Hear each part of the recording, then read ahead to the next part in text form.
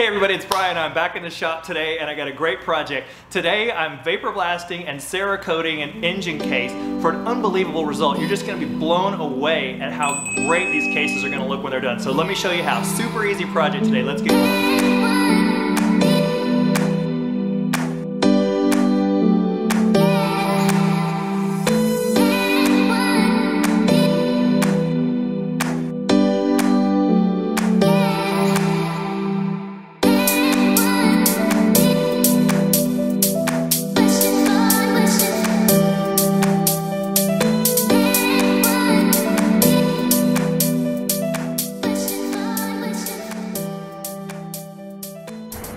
So I'm going to do something new uh, that I haven't tried before on this engine build. In fact, we're building two motors. My wife and I are both building CR85s, but these cases are in really bad shape. I've cleaned them up a little bit, but they're just not in good enough condition, in my opinion, to put back on the bike. Aluminum cleaner didn't really clean them like I wanted, so we're gonna send these two motors off for vapor blasting. So I'm really curious to see how that's gonna work. We've got a local vapor blasting company that we're working with to uh, try to clean these parts up. They tell me they can make these things look like new again. I'm really curious to see, but if it turns out good, we're gonna end up vapor blasting these and then powder coating them, and they're gonna look unbelievably good. So anyway, come with us and see what it looks like to vapor blast some aluminum cases.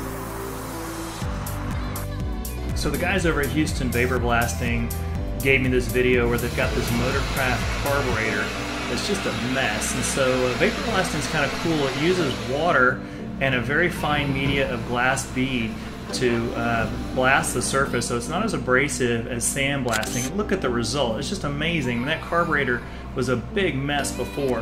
And uh, you can see in my engine here too, but the before picture on the right, how bad the cases look and how clean they are on the left side. So I'm completely impressed with how this vapor blasting process worked. I really recommend these guys over at Houston Vapor Blasting and I'll leave their information in the description below.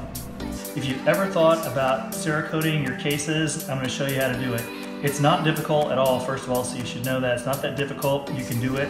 And uh, the most important thing, like a lot of things you do in painting, is having a clean surface. So because of that, I decided to try something I've never done before, which is vapor blasting. This brake caliper, I'm amazed at how good it looks now. It was absolutely disgusting. And so was this engine actually for that part. The whole thing was completely disgusting. So this is a 06 motor, this is the 07 motor, but I just wanted to see, I'll show you how good this stuff looks after vapor blasting because uh, this one actually looked pretty decent. But this one was an unbelievable basket case. This part two, the manifold was just rotten. I can't believe how good it turned out. So I used a company for this, a local company. I live in Houston. I used a company called Houston Vapor Blasting.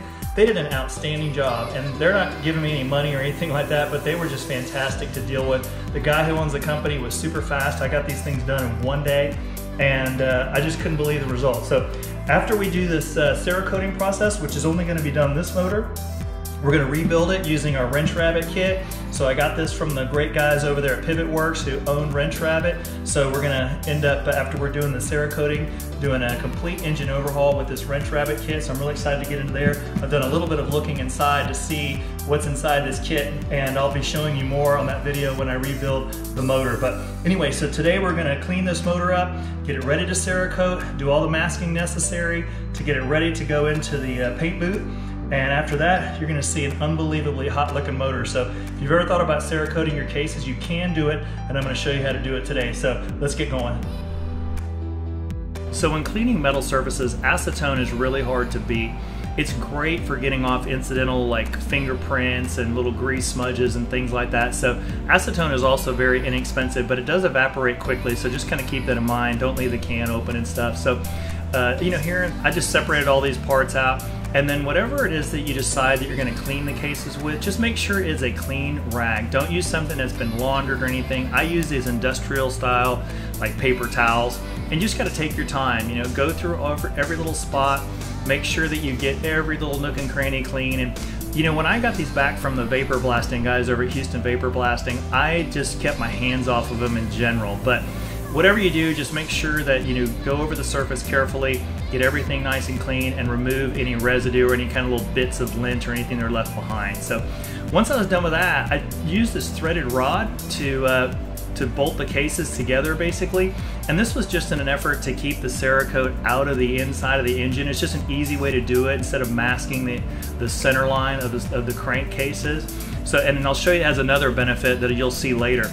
So um, the next thing you got to do is mask off any way that the Cerakote could get into the center of the cases. So all these machine surfaces, I took my time and masked them all off carefully and uh, did both sides basically. This is the clutch side and then the ignition side as well. And uh, no real trick here, nothing like rocket science, just take your time and make it look good. Once I got the masking done, I go over with a little file and that just relieves the edge of the tape along the machine surface. It works great and I've been doing this for years on other things. So just, you know, if you have a file, works great. Just peel off the excess tape. And by the way, the tape that I use, nothing special. This is just regular painter's tape like you use for uh, interior painting, uh, masking surfaces inside the house or something you're painting. So next is the cylinder, and really the same kind of things apply, but I was real careful to pack the cylinder tight to make sure I didn't get Cerakote inside the cylinder and possibly get it onto these machine surfaces and affect the performance of the engine. I just didn't want to take any chances on that. So again, I use the same technique where I use a file to relieve the edges and peel off the excess tape. And then, you know, I just continued taping. I taped up all these bolts as you see. No trick there. And the same with the base here. So that's the interface between the top of the crankcase and the bottom of the cylinder. Again, I use the file technique. Works great.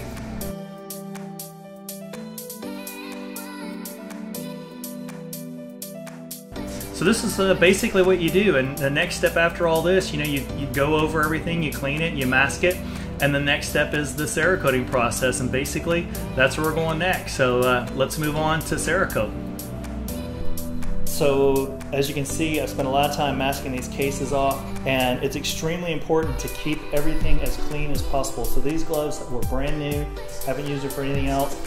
It's little things like even touching potato chips or picking up a dirty towel, something like that can affect getting fingerprints with grease on your work surface. So be very, very careful when you're doing any kind of prep for any painting, but especially Cerakote.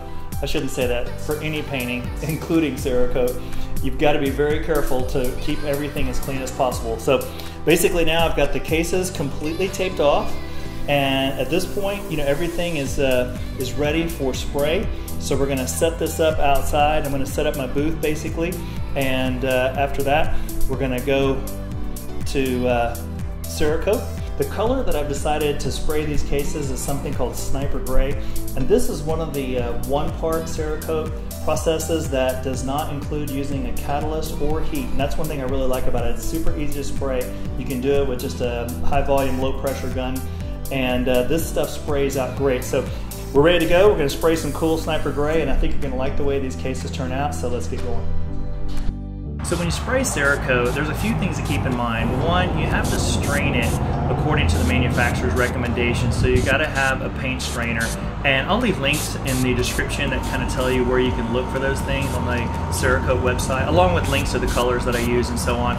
So I'll, I'll make sure that you have information for that. But whenever you spray, just don't go nuts laying on a thick coat and always work from the most complex and difficult to reach areas first and then work to the broad surfaces next. So when you saw I use that threaded rod, now you see why. So this is a great way to kind of hang the case and uh, not have to touch it basically while you're spraying. So again, I'm working these little nooks and crannies, the small spaces, and then working my way out towards the more broad surfaces and uh, laying down the flatter coats there. So no big trick to doing this, super easy, it's no more difficult than using a spray can, so don't be afraid. Hey everybody, so uh, I got out there and uh, did some Cerakoting today. I did all this whole project in one day, actually, and it's still just 4 p.m. So there's plenty of time left basically in my day. I'm thinking about doing some more stuff today. But I masked this thing completely off, cleaned it really, really well, and uh, you know, covered all the bearing surfaces. All these uh, holes that have threads in them are not affected by Cerakote. And this surface too, by the way, even though it's been painted with Cerakote, it's a very, very thin coating and I can just sand it off pretty easily. So, uh, and again, if you're interested in doing this same type of job, this is the color that I use. It's called uh, Sniper Gray, and it's an air dry color. It's super cool. You don't have to do any of the uh, catalyst mixing. This is my gun, which I've shown on other videos, but there's nothing special about this gun. You know, it's one of these Chinese guns, and um, my compressor also is not impressive at all. It's just a little, you know, uh, contractor type compressor, nothing special. And you run this thing at 20 psi, so a little contractor type uh, compressor is perfectly fine. So you can see the results that it looks fantastic.